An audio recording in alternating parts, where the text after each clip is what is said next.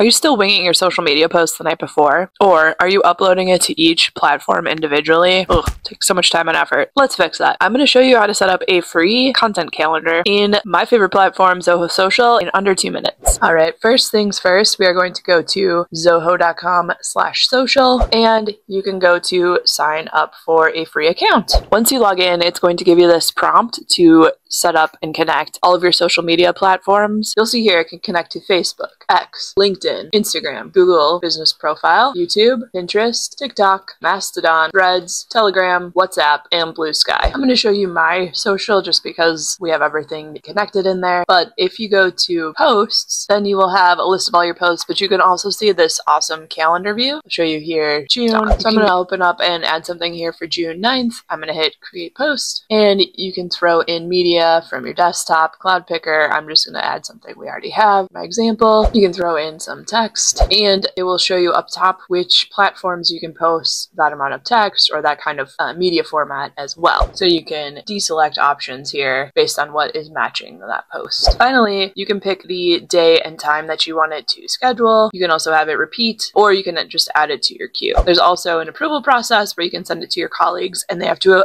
approve it before it gets posted. And just like that, no more scrambling to post. You've got a free content calendar and a little more peace of mind. Follow for more quick software wins from your small biz software bestie.